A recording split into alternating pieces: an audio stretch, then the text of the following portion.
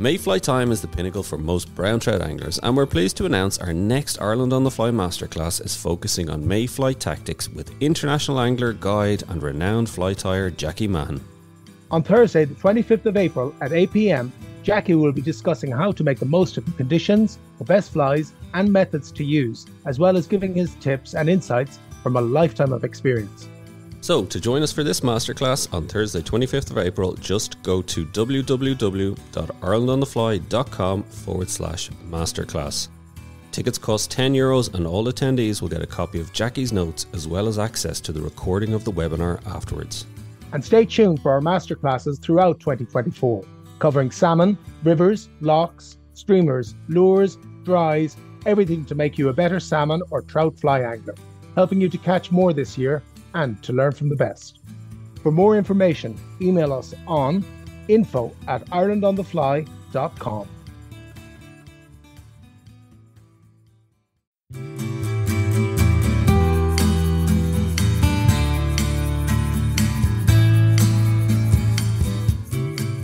I love the lake. Oh Jesus, I love it. And on its day, it's better than any Lough Corrib, any Lough Sheelin. On its day, it is phenomenal and you could have better fishing and the quality of fish is just unbelievable. Hello and welcome to the Ireland on the Fly podcast about the people and places of fly fishing in Ireland. We might be in the middle of the rain still in April, but Met Éireann has assured us that high pressure is coming next week, just in time for the start of the mayfly season. Mayfly in April? Well, it does start on Derg from around April the 20th onwards, and it heralds the Mayfly season madness as it subsequently spreads. So, just what is the brown trout fishing like on Derg? Well, this week's guest is Shane Creamer from the Garrykennedy Angling Club on the Tipperary side of the lake, and he gives us some great and honest insights into fishing Derg during Mayfly as well as the rest of the season. But first, Tom, have you ever fished the mighty Lough Derg? No, I haven't, and it's on the as we call it, uh, my small bucket list. Um, my or sh- I, I really should put that as an Irish bucket list. I think that's the best way of putting it. Uh, so no, I've never fished it. Always wanted to. You have fished it, but not for trout. No, fished it for pike. I would last few years I'd go out in December. I always had a thing about I wanted to after Christmas get out of the house. Mm, um, yeah, I remember saying. And I love that week be- be between Christmas and New Year, and um, I'd always try and get out uh, a bit of pike fishing. It's very slow. It's yeah. bloody cold. Not yeah. much happening. You know, we did one of the days we got. um Jeez, I think it was a nineteen pounder. So oh, cool. Yeah, I could be exaggerating, of course. You know, it was five, six years ago. It might have been ten oh, pounder. It's, it's since grown to nineteen in the years. I don't know. Five or six years. I think there's a formula there. Yeah, isn't there? There's yeah, a, there's a mathematical every theory. Year, yeah, every year. By, X to the power of you of, know, you know. Anyway, yeah. So anyway, is it big fish? I do yeah, have the picture of it, fish. so it, it does look not quite 20, was close to 20. I, anyway, look, it's a big fish. But uh, it was, um, so yeah, I used to always go out, used to love going out, and it's a beautiful, beautiful lake. Um, I'd be going mm. out from mm. Killaloe. And it's funny for some, like I live in South Tip, North Tip, talk to most South Tip people, it's rare they go up north of the county. I know people here have never been to Derg and they're from Tipperary. Right, yeah. And yeah. I was just struck by the beauty of it. Like it's just a fabulous lake. Somewhere, and when I was pike fishing, I was always told you have to come back in the summer for the trout fishing.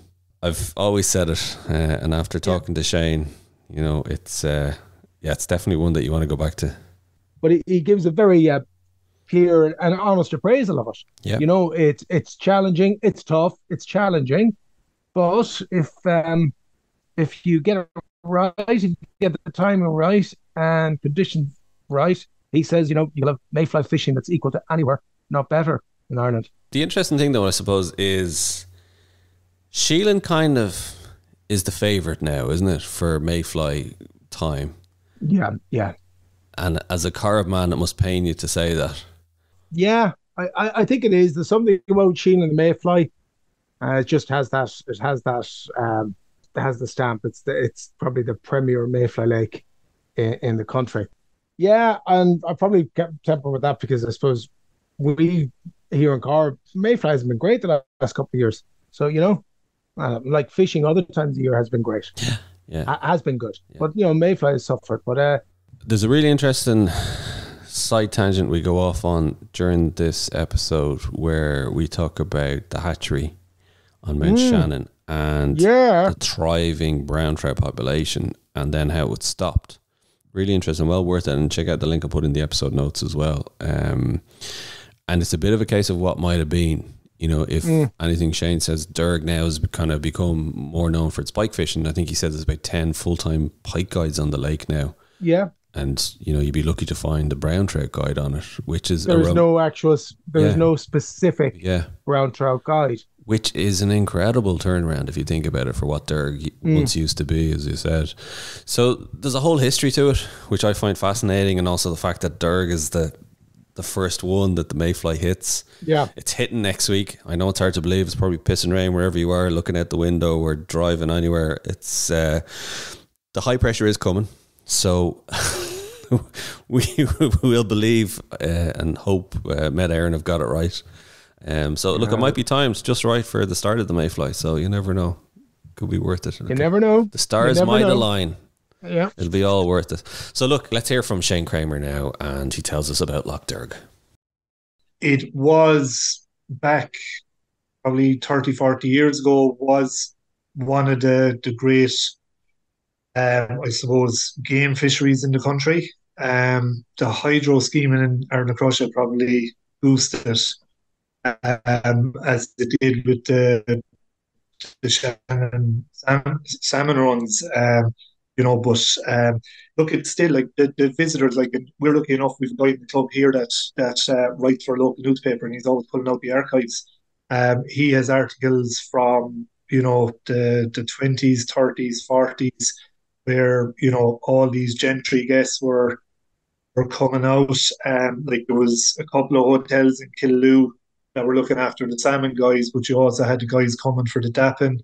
They were coming to Mount Shannon, Scariff, Dromineer, Gary Kennedy, Port Domina, and like you know, families, gillies were making a, a, a living out of it, um, and it was all dapping. Like it was only probably around maybe the sixties, seventies that fly fishing really came to the fore, and even at that, even talk to some of the older lads now, they'll tell you it's not a wet fly lake, but um, it was all DAP, and probably the last 10, 12 years, the amount of guys dapping is gone. Um, there's very few lads dapping it. But look, as a trout fishery, I suppose it's it's it's a kind of an enigma of a place there, to be honest. There's loads of small fish caught, you know, half pound, three quarter pound fish caught, you know, and plenty, plenty uh, you know, a good number of fish around, you know, the pound, three pound mark as well.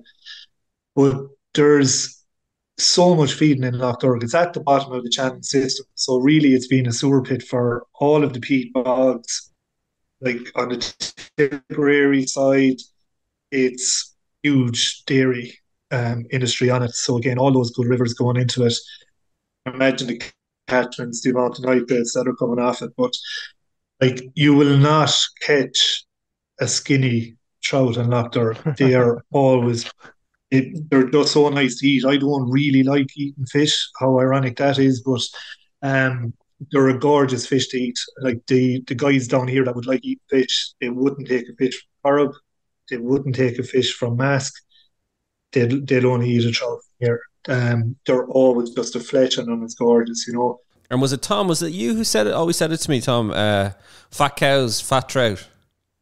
Well, yeah, it wasn't me. It was Ken Whelan. Ken Whelan, said sorry, that. Ken Whelan. Yeah, yeah. He said so. We always said fat cattle, fat trout. So yeah, Yeah, so like it's fairly um fairly decent cattle on the shorelines around um Lough Derg, isn't there? Yeah, absolutely. Yeah, and Yeah. I suppose like look, um, yeah, like I suppose the the fishing on it, like the trout fishing, like again, it was always known as a spent a spent lake, um, a dapping lake and a spent lake. Like Jesus, there wasn't a year like you know back seventies and eighties again before my time, but there was always double figure fish caught on the on the spent, um, Wow. always every year uh, without fail. Um, and like You you, know, back back in those days, it was able to kind of keep on a keel with the likes of the Corrib and, the other bigger lakes or better known lakes, even like Sheelin. Like um, you know, uh, one of our former club uh, founders, like he had a 13 pound fish on the DAP in 74. There was uh, he had a 10 pounder in 84. Our biggest fish caught on the fly in the club was caught in 94 in May by Bill Hickey, 12 pounds. And like, you know, even I suppose if you look if you look back through the years, like there's always and if you see even the pike guides now that are spinning for pike, they're getting just absolute beasts of trout, 13, 14, 15, 16 pounds weight, just casting, you know?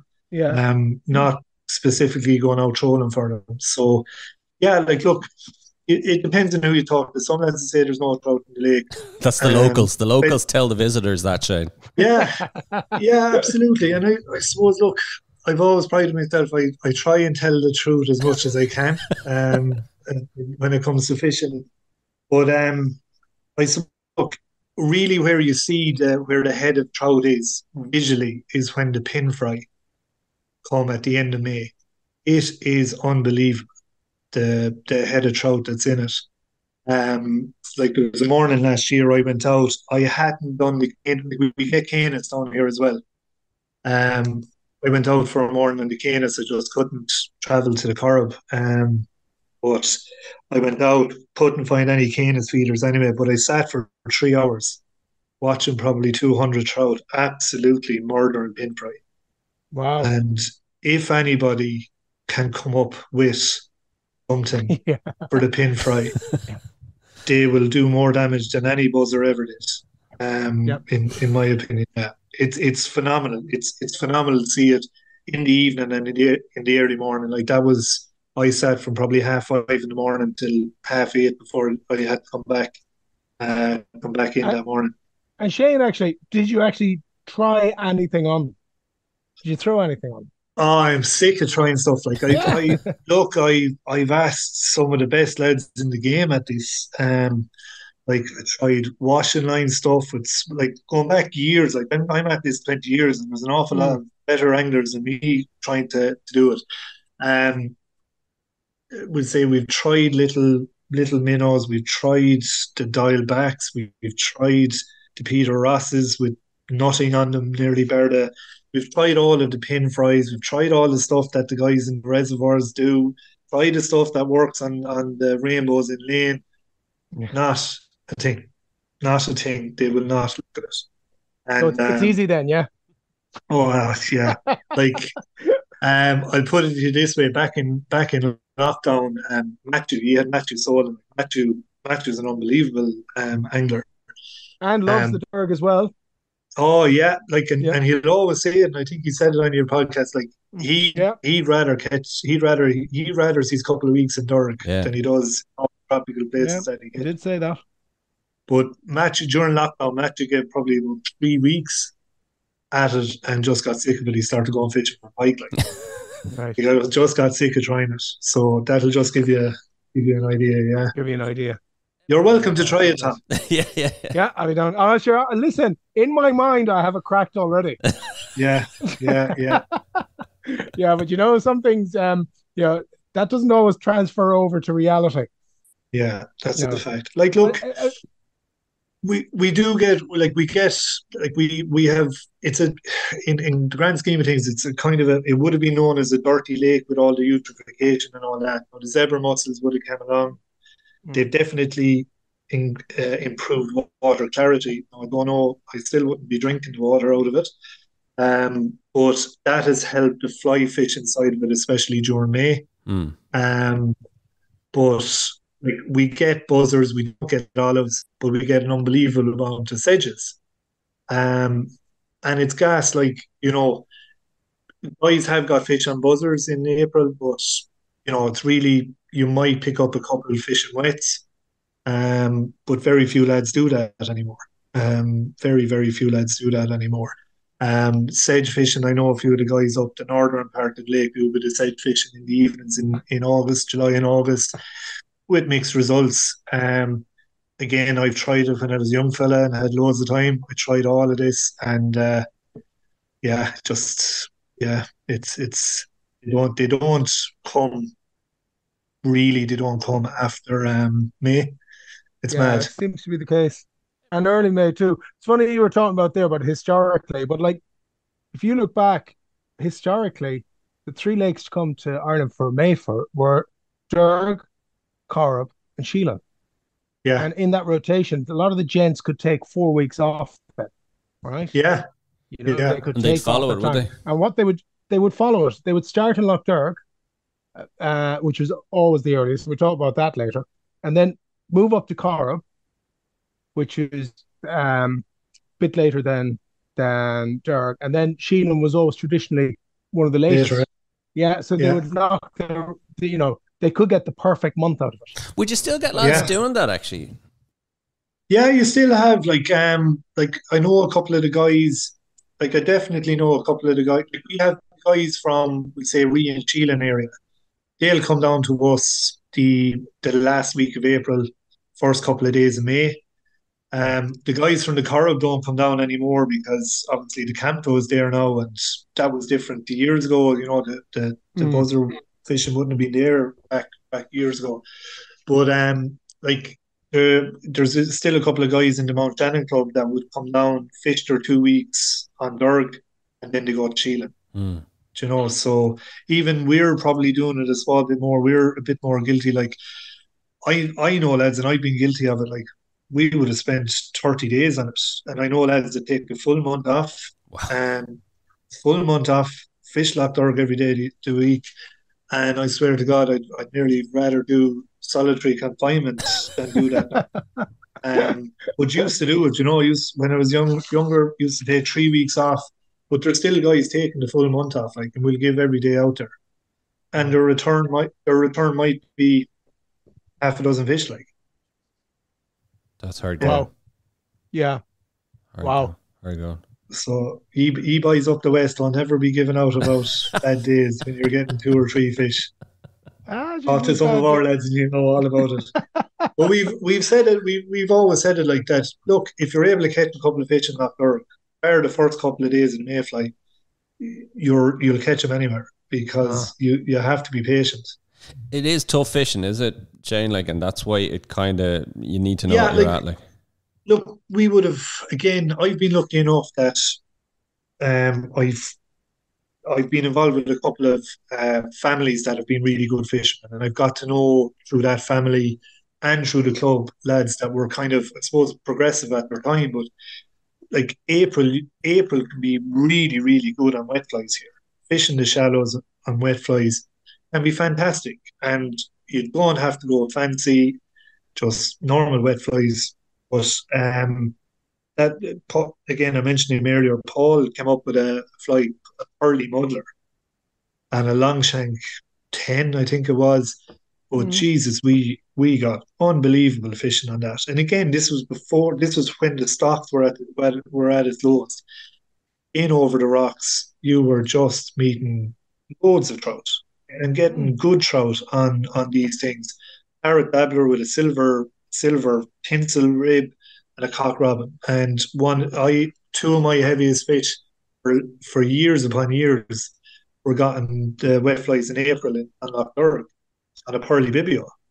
Right. Um yeah, yeah. But- Like But is, is, and is that not happening now? Is the fishing not as is the fly fishing? Let's say the the general standard wet fly fishing is it not as good now in April as it was? you if you I suppose if you had the patience to do it, Tom, you'd still meet your fish. Like we travel to Corrib, we'll go to Lane, we go we might have a great day and meet three or four fish. I guarantee you if we actually put the same time in on our own lake, we'd probably meet two or three fish and maybe get Yeah. them.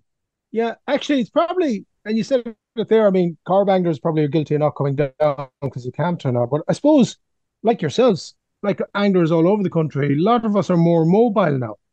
Yeah. Do you know? And maybe like, let's say, you know, that time when you had your good fish in April, you probably wouldn't have fished Campto and Corrib then. Yeah, absolutely. Uh, uh, well, absolutely, yeah. Um, Mm, yeah, Like- you think of it, like, And I suppose even just to give you an, it, it, transport, like the, the road network has got so much better now. Like if you Mm. were going to the Corrib from here, like I can get to Headford now in less than an hour and a half. right? Like, if you were going to- to take? Like sure, it depended on Loughrea and Craughwell. Like oh God, yeah, you Clare- that way, yeah. Clare Galway, like Jesus Christ, it could take it could take three hours to get as far as Galway. an hour and a half now we can be in Headford. Do you know what I mean? And Yeah. if you know, I suppose You've better as choice, I suppose, isn't it, Shane? better choice. And I suppose as as things have gone on, like I I suppose me and the guys I fish, we, we love dry fly fishing. So you're not going to get dry fly fishing in April, end of March, April on Derg, but you have a great chance of it on the Corrib or the Mask. Do you know what I mean? So that's probably why we were traveling. And um, again, we during lockdown was probably we went back at it again, and we were getting a couple of fish on it again when we could only go to five kilometers. Um, God forbid those days ever come back again. But like, I suppose we kind of appreciated what we had in our doorstep again. You know, um, Well, so they they are definitely there to be got. Guys aren't wet flying as much as they used to be. Lads are spinning for trout on the light tackle, and they're getting plenty of fish. So well actually, I think that's interesting that because place. just before came on there and you missed this, star, we were just chatting there, Shane and myself, and uh, you do a fair bit of, spinning for the trout now in the wet fly areas, don't you? Yeah, like I suppose, um, yeah, it, it just it, it's gas. Like there's areas on the lake that you'd say, right, if you're going for a day's wet fly fishing, go, yeah, these are my six or seven drifts, or depending on what way the wind direction is going, and then you'll do a couple of size violets or whatever, and inadvert, you know, inadvertently, you'd probably get a couple of fish. Um, since the spinning came along, you're going back to the same places that we were doing all the wet fly fishing, and you're meeting the fish again. So I've no doubt in my mind, like I've only ever fished a humongous twice on the lake, and we've got fish in a humongous. And I know the guys in Chile. Oh wow! Oh, You know what I mean? God. No. So, like Yeah. realistically speaking, there is definitely Oh. a good bit of fishing to be got earlier in the year. But I suppose it's just there's not as many guys at it, and the younger generation are definitely doing more casting. Has Derg got more of a reputation now for pike? And what do the trout anglers uh, feel about that? Yeah, like I suppose um it definitely is. Like there's I'll put it this way, there's no gillies, like there's no guides, no gillies. Like there's one or two lads will offer um a day or an evening on the spent um that guiding wise, but that's it. There's no trout guides. I, and again I mentioned back in the fifties, sixties there was hotels full of guys being taken out dapping. Um but the the pike fishing there's easily 10 full-time guides um, around Oh, Loch. Yeah. Yeah. Yeah, Yeah. easily. And you have, like, I know you have uh, one or two of the guys from Galway come down as well. You've guys from the Midlands have started guiding now, they're coming over to it as well. So, along with the 10 resident guys, and then you've guys that aren't guides and, you know, they're serious into their stuff, like, you know, 40, 50 grand's worth of stuff Yeah. um, they're coming every weekend as well. Like it is phenomenal for pike fishing. Um, you know, phenomenal. What do the trout guys think? An awful lot of the lads fish for pike down here that fish for trout. Um, you know, some lads would say there's too many in it, but like I suppose I can remember, like, you know, if we're talking about the history of the lake, like the the ESB owned the rights, the fishing rights to the lake since the hydro scheme, and um, they tried to sell the rights to the fishing uh, Dutch company in the late fifties, and that set up uh, that Sorry, that what did they do, Shane? they tried to sell the rights to the fishing for Yeah. pike in the in around fifty seven or fifty eight, yeah, Jeez. Yeah. For the whole lake, like. for the whole lake, yeah, and um, all anglers from around the place, and it was generally led by you know the probably the the gentry, and I suppose all the the the top kind of solicitor kind of that you know the re, the high the, the high earner kind of guys at that stage would have been seen as the you know the old gentry. They were probably the, the, the drivers too, but then obviously the, your guys that. So Lough Derg Anglers, you know, a group of anglers from around the lake got together back then, and they stopped that. But the ESB then funded all the pike competitions. They actually what got around the anglers was they they started putting up really big prizes for uh, killing the pike. So they weren't going to sell it as a pike fishery. So they ran competitions to try and exterminate the pike out of it to make it a game fishery. Um, so and that went on like Jesus. Look, I could go go on and on, but I suppose in the late nineties, the lake was completely on its knees. Um, like as a club, 1998 was our worst year in records. There was 47 fish caught. Now, bear in mind, three quarters of a pound is the limit. Probably about 30 of them, 47, that were, um, you know, maybe over a pound and a quarter. Um, and again, going to a lake that was renowned for double figure fish, like a fish of two pounds seven was the heaviest fish that May. Um, and four, four anglers got 30, I think it was 38 or 39 of that 47. So that that'll give you an idea. And corresponding with corresponding with that, then like we had we October was known as the best pike pike uh, time for competitions. Like there was pike two and three pounds weight winning pike competitions back in late nineties. Pike are back. The trout numbers seem to be okay. But again, look, I'm not a scientist, but look, there's a there's a couple of things that have happened. I think that have definitely helped the trout numbers, Dara. Um, the so again, I, I'm kind of cross-referencing between the ESB and that, but the ESB is part of the hydro scheme. Their remit was they had to. It, it, read in the contract shall look after the fish stocks. Um, so they set up the hatchery in Parteen Weir to obviously look after the salmon to try and do that, but they also had a trout element to it as well. Like they were driving around with lorry loads of of out dumping them in in you know where you'd have you know any bit of deep water to just letting them off. It was grand, but it wasn't really doing anything for the stocks. But um, a club, the Mount Shannon Club, the Scariff Mount Shannon Club, actually set up their own hatchery in I think it was 2000. Don't quote me on dates now, but I think it was around 2000. But by 2002, the fishing on the lake started to increase drastically. Trout fishing on the lake started to increase drastically, and it was all fish three quarters of a pound to a pound. So in a timeline that these and in the areas where the I suppose the unfed fry were being released into a couple of the streams around the place. All that the, the mouth and the general area those that's where all these fish were being got. Um, and year on year, the fish were getting bigger, and it was stopped. The, the, the fisheries put a stop. The scientists put a stop to it, and they said uh, they obviously said that they, uh, it it doesn't work. But every club around the lake could point to actual facts that it was working and working unbelievable.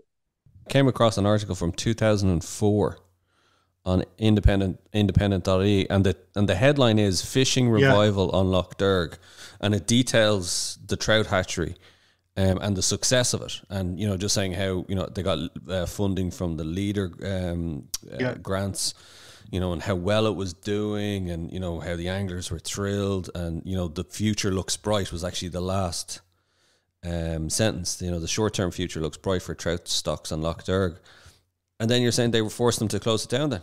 Yeah. I suppose realistically speaking, when they put every obstacle they could possibly put in their way and they eventually closed them down. It made no sense whatsoever. In in their minds you can't argue with science, but I suppose science has been proven wrong decades later in so many things. Um that it just made no say, sense. Like we it was a lake that was on its knees. The hatchery, they were doing it. It wasn't costing fisheries anything. It wasn't costing the department anything. It was a club looking after it themselves. It was anglers looking after it themselves, funding it themselves. It was costing people nothing, our time. And those guys put in unbelievable time into it, painstaking time into it. But, but like, you must wonder, like, if the hatchery was still allowed to continue, you know, how the lake would have been thriving and you know how much more anglers would have been fishing it for brown trout that you know you wouldn't have had the the pike reputation. It would have it might have been gone the other way. It could have been you know. But it would have compl- it would have complemented it, each other anyway. Do you know what i mean? It seems to have complemented it, each other in in a way anyway but um yeah it it just makes no logical sense like it, you know the fish stocks down here were just really bad and the policy, like they were talking about, it's not the native strain of fish. The ESB were not putting in the native strain of fish in the likes of uh, or, or in Lough Derg for years. Do you know? And like she, you know, the, I I just don't I, I just don't get it. And there's a number like again that time I was doing the was they researching all the old place names on the map. I was talking to guys in their seventies and eighties. Now this is fifteen years ago, like, and they were able to tell me rivers that used to be the hatchery. They, they said they were the natural hatcheries of the lake, and they were divided fish now.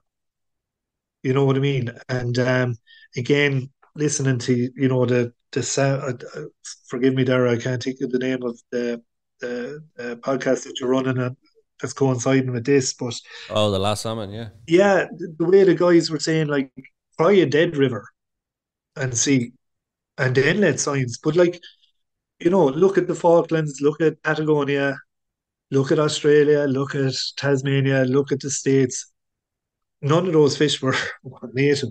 They were all stocked.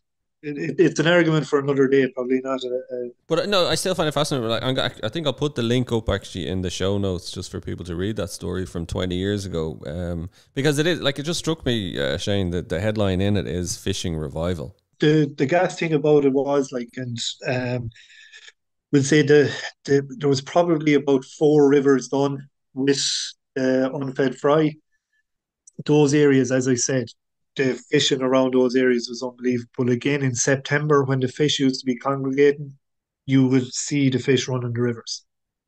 And it's in those kind of general areas that those four rivers still are that the best of the fishing is. And like we'll say, there's parts of the lake that wouldn't have had, you know, they would never have got it's just too far away from those areas and like the fishing is can be dead in it even in may you know even spent fishing it can be just dead and and again on that podcast you know the last salmon you know you talk about it look we've done habitat to death like in pieces. we were we were all doing the bits and pieces and look we probably weren't all doing all loads of different pubs around the country were doing stream rehabilitation stuff and you know probably 80% of it was the right thing to do 20% bad or maybe not the right thing to do. But it was all we yeah, anglers will go along with, yeah, we'll do what we're being told this is the right thing to do. But it it hasn't worked. It, it you know, it hasn't in the, in most cases it hasn't worked. Like Cara had a hatchery. Um, you know, um I I you know, talking to anglers up there, like the trout with the blue blue dots on the head. Do you know? Um, Cara, you know, Jesus, that's just such a shame if that happened. Cara, but like I don't know enough about. The, we should probably get somebody on Tom in terms of maybe talk about the trout hatcheries. I, I'm not sure it's the one on Regan, but they they were still able to. They, they had a loophole when the one here was closed. Ree was still allowed to continue because there was technically still netsmen on Ree fishing for trout. Again, I was talking to um, one of the Dolans up there, a couple, uh, was it two or three years ago, but he was saying like that again, all the obstacles are starting to be their way now as well. The only thing I would say just in the hatcheries, what I've learned um, is, well, this is specifically, I suppose, in relation to salmon. Um, like, I don't know anything really in terms of the trout hatchery. So I'm gonna like I'd like to get an expert on to tell us the, the pros and the cons, and I'd love to ask find out why did this stop in Mount Shannon. But like what summed it up for me in terms of the salmon was um, basically, if you want to keep the wild fish in the river, you can't go down the hatchery route. Simple as that. So, you know, but I certain sense, you know, part of me thinks, well, it's a bit like you know trying to stop the tide going out because in terms of all the other factors that are going on, it's proven so difficult to stop the salmon numbers plummeting. And then the other side of it is as well, if you want fish for anglers, you can go down the hatchery route, but you're going to kill yeah. off the wild stocks yeah. in that river. So like my kind of, and I said it in the episode, I think it was with uh, Paul Whitehouse and John Bailey was where I said, well, could we do both? Like where you have certain areas, here is a wild river where you focus just on conservation. And here's another river over here where you just focus on, you give up on the wild fish and you just focus on the conservation or you focus on the hatcheries for angling. Um, and to try and go down that road. Um, I haven't still haven't got an answer to that. But really oh, yeah. interestingly, Ken Whelan, we have an episode with Ken Whelan uh, coming up in a few weeks.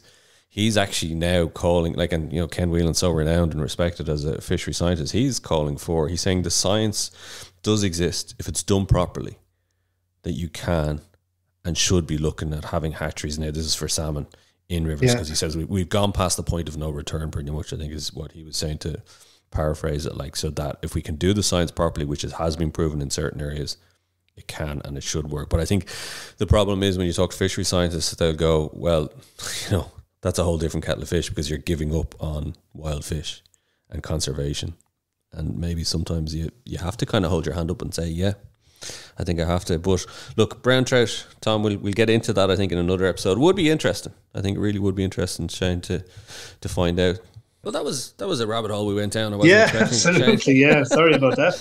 no, no, it's fascinating, um, and I will I will include the link for people to read that uh, from twenty years ago.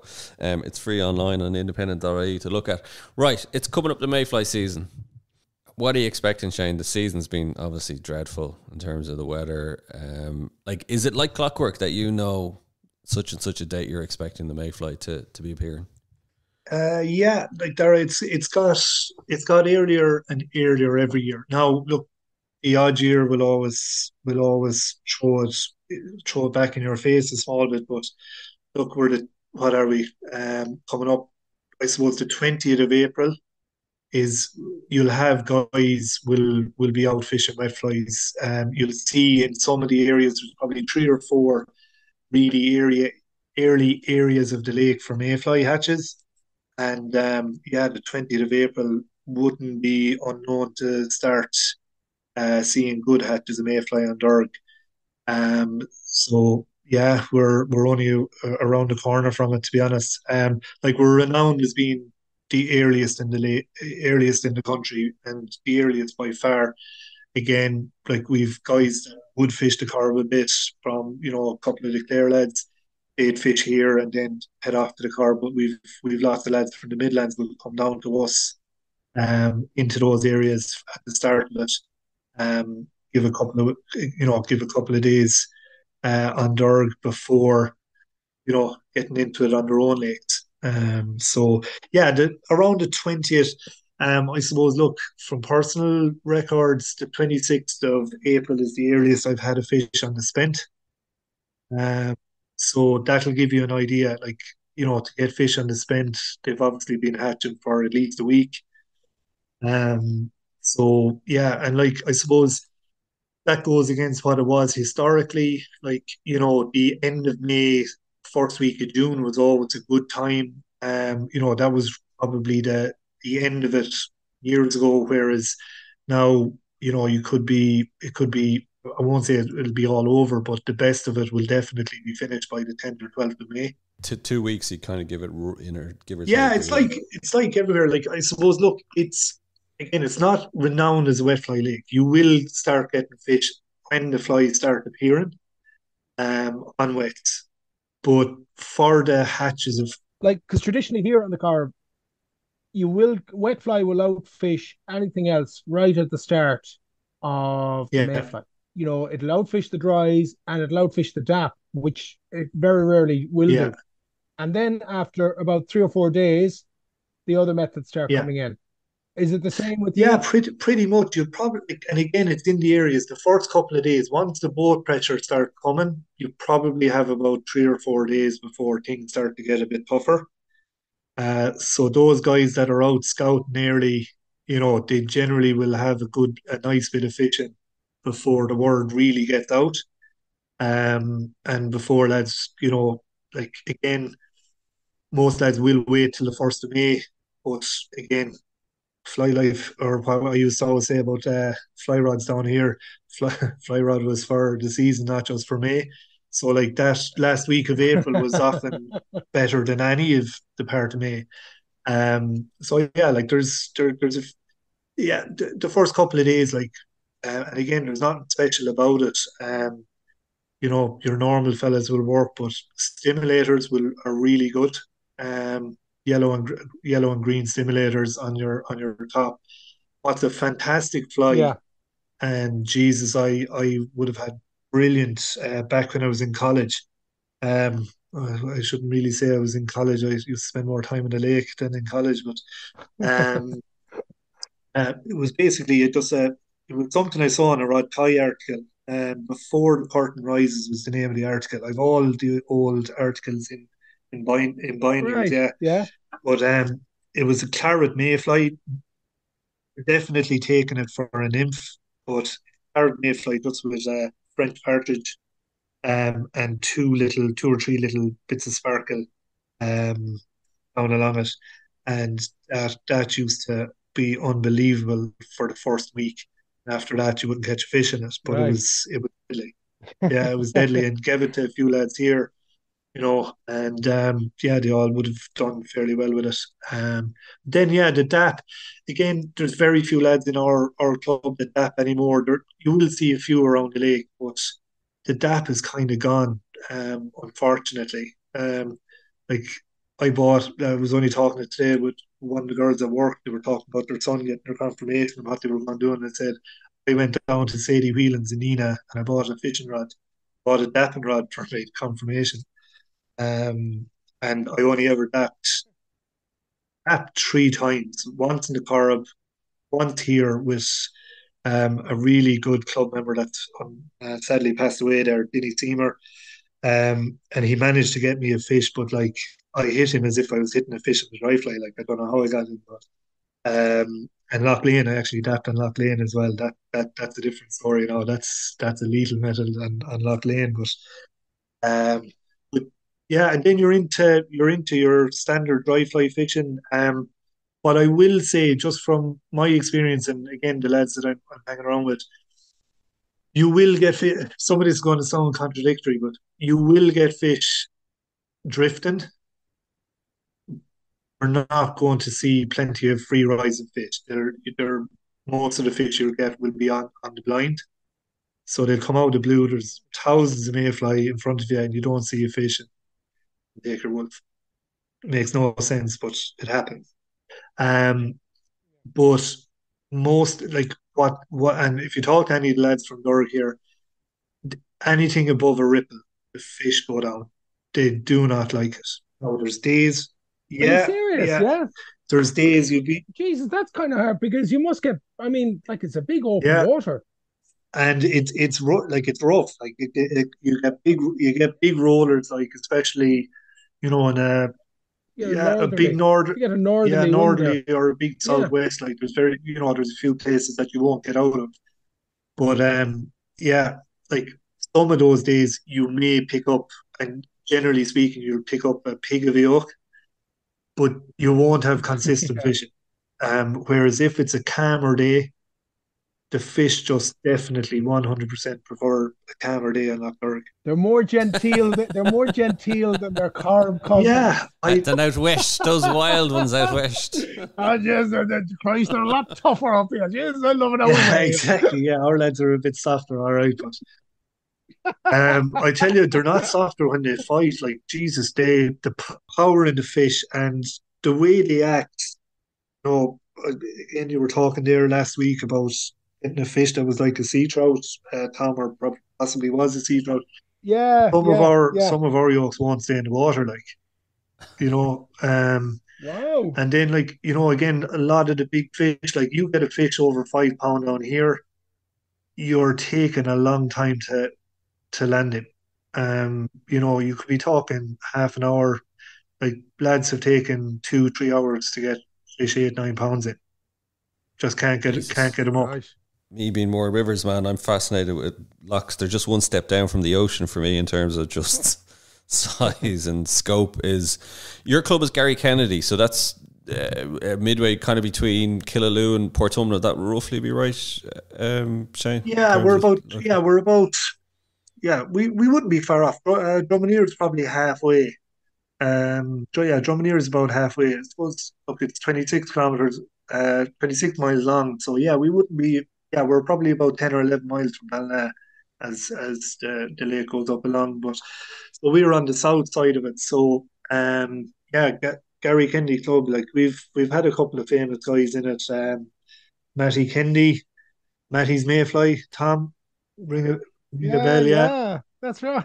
Yeah. Um, Matty, Wow. Matty's Mayfly, and Matty would have been renowned on Lough Mask and Melvin, like, and you know he died. And I, unfortunately, I never, never got to talk to the man, uh, unfortunately, but he was renowned by and and well liked by lads all over the country. You know, um, he would have won the Yeah. World Cup.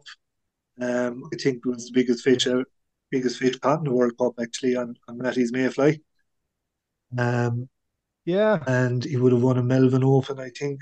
I, I might be standard corrected on that, but um, he would have been one, and I suppose um, Sean Hickey, uh, again, long gone now at this stage, but Sean uh, had the heaviest fish in Ireland in, in 74, caught on, on the fly, um, 13 pounder, and he had a 10 pounder in 84. And uh, just a, a serious man for probably before his time when it came to dry flies.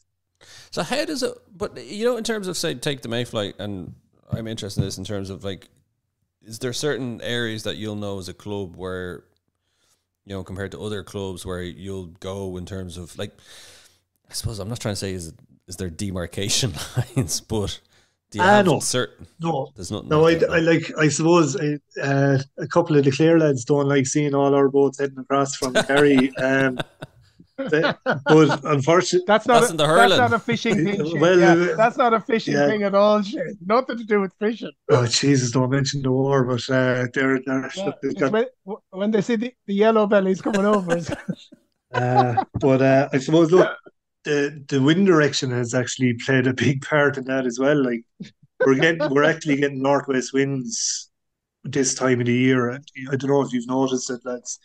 Yeah, But we have actually. We talked about end, that end of. April, first two or three weeks of May, the predominant wind is not southwest anymore.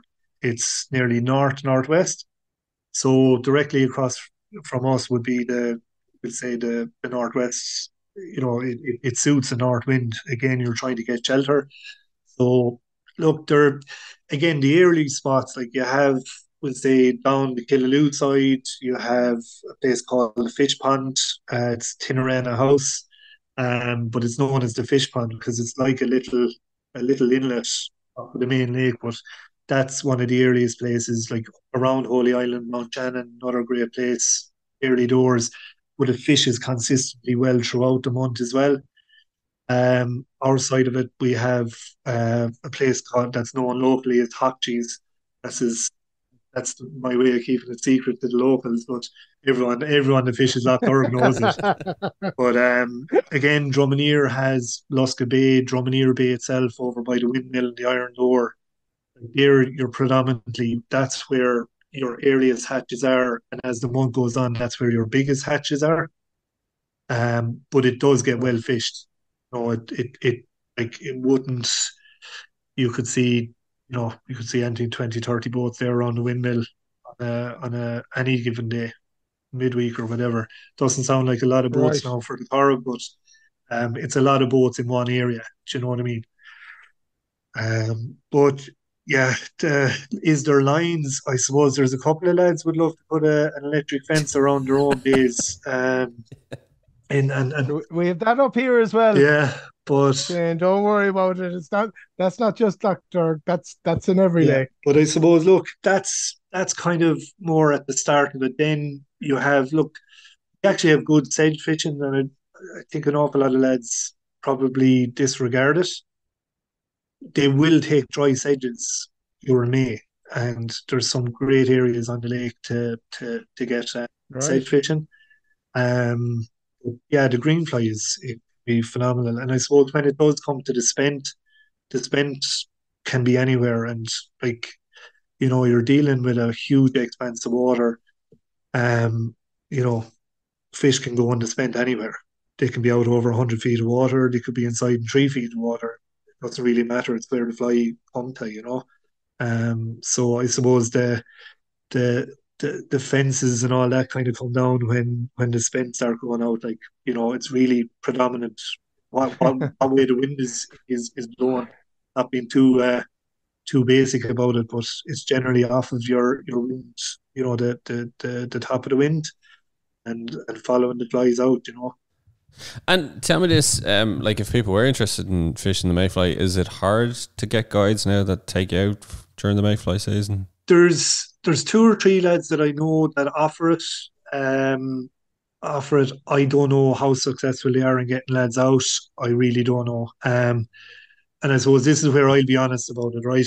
Lough Derg, and, and look, Matt, Matt just said it as well. Like, I love the lake. Oh, Jesus, I love it. And mm. on its day, it's better than any Lough Corrib, any Sheelin. I would, I, on its day, it is phenomenal. Um, and you could have better fishing, and the quality of fish is just unbelievable. Um, but I don't know, like, you, you're very limited. You, like, you're very limited in in a, in a lot of your fishing that it's very tough to go flogging wets all day when it's not a great lake for free rising fish. You could be stuck in at the butt of one island for the whole day. And that's it, like, do you know what I mean? So I suppose would I would I pay a guide? And I and I do believe um I'm not just talking up to you now, Tom, but I definitely believe lads should pay guides you don't care. And we talked about the pike lads, the the pike lads in Ireland, the the, the, the lads fishing for pike in Ireland pay two hundred fifty a head to a pike guide. The the pike the the trout guides who are putting in way more effort without technology and without all of this stuff, and you know. If Irish lad is asked to pay 150 euros, like he's going, ah, Jesus, that's robbery. Like, these lads know what they're talking about. Like, do you know what I mean? So I, I do look again that's contradictory. I personally wouldn't pay for a guide in Lough Derg because I just think the fishing is is just too too limited. But again, on a day, if you hit it right with one of those lads, um, you could have a day that you'll never have on any other day. Do you know? Look, 2019 was just a phenomenal year. I, know, personally, I had a phenomenal year in 2019. Um, you know, I think it's I'd half a dozen. This isn't going to sound anti for Sheelin, but I think at a half a dozen fish over four. Um, one I had my heaviest fish at, at five seven. Um, but like you know, my average, my average that month, and it was phenomenal. Like I, I, I don't think I'll ever repeat it, but my average that that year was about two and a half, two three quarters, and there was a, a, a decent number of fish in it. Like like your average fish on the lake is going to be probably a pound and a half to two and a half pounds. And any fish you get on Lough Derg that's over two and a half pounds is a serious fish. You've you've earned the right to to get your picture taken or taken home and eating or whatever. Um, there there isn't you you'll see them, but trying to land them is trying to land them is is another thing. Like again, I mentioned there just like guys can be in fish for hours not lend them. You know, is it fair to say, Shane, like in terms of the popularity stakes, Sheelin seems to be the one, isn't it? People are going, and then it is Corrib, and then it is Derg, but.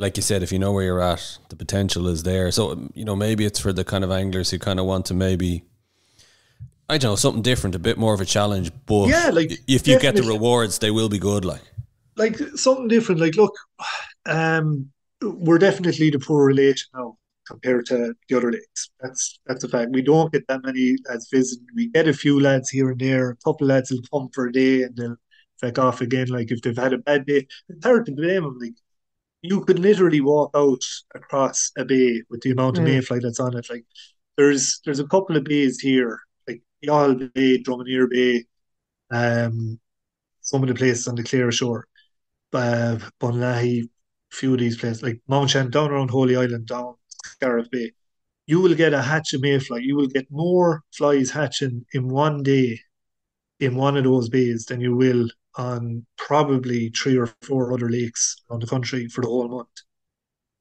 It's phenomenal. Like Sheelin is the only one that can right. come near it. Um, but you may not see a fish break water.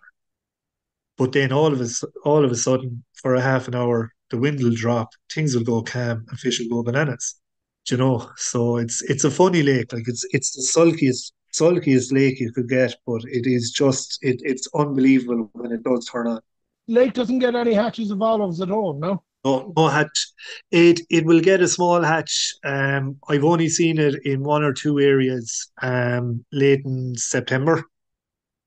um, but not at your normal olive time of April. Yeah, you, you just don't see them. Yeah, which is a pity. And we get plenty of buzzers, but we don't get. They're they're not proper duck flies and they're not proper Campbell. Or do you know when I'm saying that they're not the bigger ones, you know, that you'd be fishing with their tens or twelves, they're tiny little yolks. Um, coincidentally, actually, on a really hot day, this is this is giving away some bit of a secret now. Uh, the end of April, kind of start of May, on a baking hot sunshine day, be armed with a couple of small blacks, size six, kind of size 14, 16, uh, just plain, plain and simple, uh, uh, plain and simple small black. Yeah. So come here, I'm I'm fascinated to find out then, Shane, because um, I've learned so much about Derg, fishing Derg. You've been really honest about it. It it's it's an amazing it's an amazing place, Sarah, and like with the with the spent. I know I said that it isn't as as good as what it once was, but on a calm evening with a fall of spent, you will see on like it is an amazing place with fish going everywhere. It is an amazing place. Um, some of some of my favorite evenings, um, and we'll always talk about to always talk about is actually evenings you catch nothing but you've actually you're bet down from actually covering fish. You know, so that's again that goes away from the whole sulky thing that I said, but like that's that's just being honest about it. It can be amazing or it can be the sulkiest place on earth. Actually, just before we let you go, um, Shane, just in terms of the Garrykennedy Club, um, it sounds sounds to be a very strong club. Um, and you've got competitions as well that you're running on it as well, um, charity competitions as well. Yeah, um, look, I suppose, um, look, we we run competitions during the year, but back in 2018, um, I suppose, look, my mum had had gone through uh, a couple of battles with cancer, so we've seen the look as many families have. They've seen the the plus sides of hospices and the care that that can take uh, that that families get. So, uh, just decided to start running a uh, kind of a fundraiser, but a bit of a crack competition as well. Um, so just trying to get lads fishing with lads that they might fish with before, because I suppose that's one thing about Lough Derg is most lads will fish on their own. Um, and it's very it, it's a very kind of solitary thing for the month. But look, the charity the charity thing is just appears. It's it's run on a it's not run a catch and release, but it's run on a measure basis. So you can kill the fish if you want, but let him back if you want because it's random. Everyone's given a measure board. Just try to do something, you know, different. We tea and coffee and a bit of a chat with all the lads. So we've lads from the Clare clubs, we've lads from the other clubs around come, bit of a chat, and it's it's generally the weekend before the Mayfly really kicks off.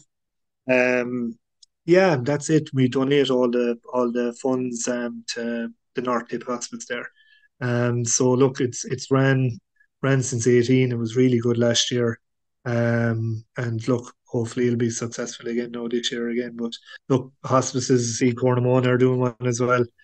Yeah, look, there isn't yeah. a there isn't a family out there that that that uh, I suppose yeah. hasn't been touched by it. So look, it's just something. It's just something to give back. I suppose as anglers, we we're always trying to get prizes in from sponsors and stuff like that. This is just look, I put up the prizes for the lads that are fishing it, um, and anything that's any of the entries, any of the entry fees or anything like that, any of the money that's donated goes straight to the hospice then. So, um, and they appreciate it. It might only be a small amount of money, but they appreciate every bit of it as well. And also, I think what it is is it's great. Um, is seeing the clubs involved in the local community like that, like you said, giving back you know, um, and I think that it's just brilliant to see. Um, and obviously, by the sounds of it, the Garrykennedy Club, Shane, like you're so passionate about the lake and the water and the fish, and it's, you know, it's just it's just great to see and to hear that, you know, and obviously clubs like your that like the Garrykennedy one are, are doing well, and you know, very yeah, proactive. Like, yeah, we've a good membership and we're holding steady, but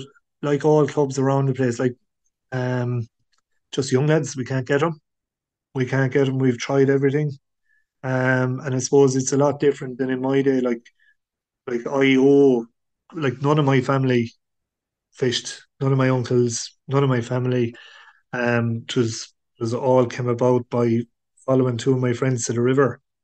uh, at eight years of age, and then luckily two of the members here, uh, John Malone and Jim McCormack, if I asked them could I go out with them on a Sunday, they'd actually bring me out. But there's no, you can't do that now. Number one, um, the child protection and stuff. But we've tried loads of stuff. Like we've gone to Jono's in Laois Angling Centre.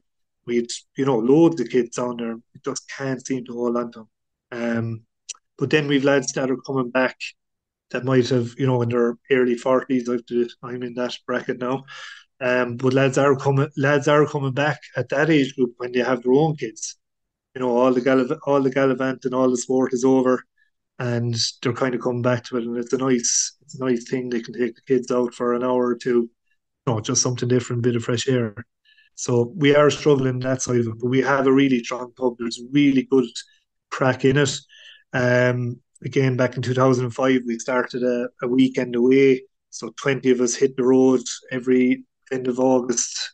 We hit Corrib or Mask or Conn or Uncle Tommy's over in Lane. Um, and it's generally looked the fishing is good on a Saturday, Sunday. It's a bit slower, all right, for some some reason, but uh, funny that, yeah, it? but uh, it's it's mighty crack. It's it it's just mighty crack, and it's it's really good crack. Like we've we've had unbelievable characters in our club down all through the years. And a lot of them wouldn't have been just locals. Some of them would have come from nine or ten miles away in Nenagh, the the blow-ins, but it was great crack, great, great camaraderie. And you see that again with the hospice, uh, with the charity one. Like, and Mount Shannon run a big competition as well the day after. So they come over and support that. We go back over and support their one. And I just think, look, sometimes we forget that it is a pastime that you know yeah. the seriousness sometimes takes over.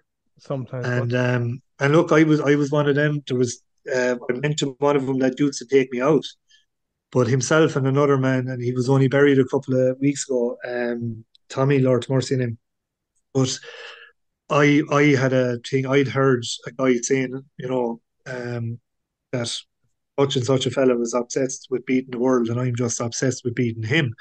And that was my mantra for a couple of years. Like I was, well, Tommy and Don are obsessed with beating everyone. I'm just obsessed with beating them. but uh, great, you know. And again, like it, there was not never ever um, serious or anything behind that, but it was a healthy rivalry at the same time, you know. Yeah, and a healthy rivalry is good. No, I have to say now, uh, just hearing you there and, and going back to the club uh, it's really important, and you know, I've always said it. Local clubs, you know, they're custodians, they look after the place, but also as well what you're doing uh, with the hospice, the fundraiser for that. It's after it's something touches my own heart as well. And as you mentioned, we run one up here in Cornamona as well. But no, so fair play to you for that. Um, so yeah, it's just amazing. Really, really good to hear about that. Uh, yeah, Shane, really good and really good. Uh, what Dara said there is fantastic to hear you've enlightened me in a lot of things about Lough Derg. And yeah, you know, things I wasn't aware of. It's great to hear it. Great to hear it. But um, so just leads me on before we wrap it up with you. So, what was your most memorable fish on the fly? This one, yeah, I'm all over this one now for, for a long time. Um, probably, I, I really can't narrow it to one. I, I, I have to probably mention two. Um, the the first one was, I suppose, with my my great fishing buddy down here, uh, Padraig, in 2019. Um, I, I, I got my heaviest fish in that bird. Like I've, oh, like I've a lot of three, four pound fish, but never could get over the five pound mark. And this day we were out, and uh, yeah, I got a, a fish of five seven. Like we could, we we'd seen him from about thirty yards away, and in fairness, and I suppose this shows the relationship me and Paddy have and the understanding we have, which is very important.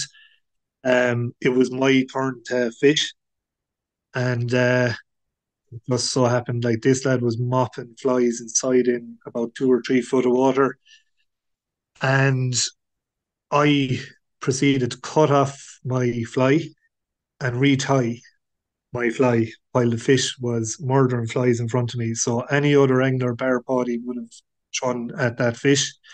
But he rode me into position and he kept asking me, Are you right? And he started counting actually started counting the flies, the amount of flies that fish was eating. Like, um, so when he got to sixteen, I had got my the, the more he was counting, the more nervous I was getting. So anyway, we um, when he got to sixteen, I was right. Uh, casted, he took seventeen, and then he took mine. And I don't know, was it a half an hour later? I landed him, and he he weighed in at five seven. Um, an immense, real dark, a real old kind of a bruiser of a fish. He was, but it was it was I I thought that would never be bet. Um, and about three weeks later, I was fishing. That leads me on to my second one. So the, the, the two of these happened in the space of, of three weeks of each other. Um, first of June, I was fishing with a, a good buddy of mine, Larry, Larry McCarthy, there in the Corrib, well known. Yeah. Uh, after caenis, and uh, we just turned off the engine, and there was fish going. And first cast, with a fish five eight, and that fish was the most pristine, perfect, fin perfect fish I'll ever catch. It was amazing. Um, and the other fella was so relaxed. Like I, my my heart was in my mouth as soon as he took it. Like, and uh, for the 15, 20 minutes it took me to land him on the on the light stuff, um, the other day could poured himself two cups of coffee, no bother, no interest, no interest in getting the net or nothing. Um, and I to finally asked him to go. I think he's ready there now, and he puts down the cup of coffee and he nets him. And I've a photo of that fish. That fish went back. Um, but that that just the, the morning light, that fish he was five seven or five eight. Um, I, I, I can't even remember. I was in the days that morning. It was unbelievable. Um, we went on like we we we loads of fish that day, but those two fish were just amazing. I know the cliche to pick your two biggest, but um, yeah, it's just the fact that they were in such a short duration of each other. They were they were two amazing fish, totally different situations. Um, I suppose I'd given nearly thirty years trying to catch one on Lough Derg, and the emotion that that brought. We I had, I had a right session for two days after that one, um, but the one in Corrib then was just was unreal. Um, as well, I must say, it was just unreal. So they're my they're my picks. Sorry, I couldn't get it down to one fee. Oh, I'll, t- I'll take those think, both. Yeah, I think that's fair enough. I think you're well yeah. justified with uh, just going for two there now, Shin. I think so.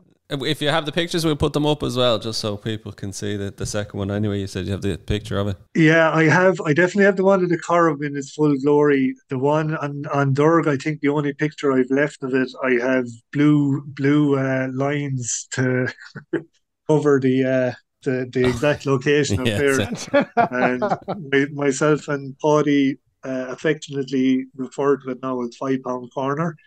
So nobody has an iota of where we're talking about, but yeah. uh, the two of us know where we got. All right, um, that's all that matters. But look, lads, I suppose. Look, thanks a million. Look, Derg is always overlooked, um, but as I said, it's definitely worth a trip for anyone. Just it's a beautiful area. A couple of great pubs around the place as well, and I think be you'd be welcome if you start talking about any sort of a mayfly at all there'll be someone who'll prick their ears at the bar and, and, and start talking about you anyway. Oh, definitely. It's uh, I, look. I think it's well worth revisiting and just reminding people of it. Um, and you know, you haven't tried to you know airbrush it in any way, Shane. You know, it's you've been straight up about it, but definitely worth a visit for people and um, put it on your on your list again. You know, some year maybe if you're you know deviate away from Corrib or Sheelin or do all three.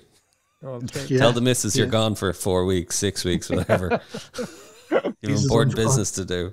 Unfortunately, them days are over there. Yes, I know, I know. Ah, oh, to be one of the gentry back then. uh, yeah, absolutely, absolutely. But listen, I suppose. Look, I appreciate, I appreciate the days I go now, which exactly. I probably didn't when I was younger. Um, yeah. so plus the other side of it is I don't be, I don't be uh, staying in the back of a Corolla when I'm going on my fishing trips anymore. I, I, I, I got got into you get too old for that absolutely, absolutely, yeah. Shed tight lines anyway for the Mayfly season, which is only around the corner. Um, hard to believe with the weather, but you know, let's hope it'll it'll be a good one. Thanks a million for joining us. Here's lads, mind yourselves. Take care. Our thanks to Shane Creamer for joining us on the show. Don't forget to rate, review, and follow the Ireland on the Fly podcast on Apple, Spotify, or wherever you get your podcast from. Plus, you can keep up to date on IrelandOnTheFly.com as well as on Instagram, and myself and Tom will be back with another episode about the people and places of fly fishing in Ireland.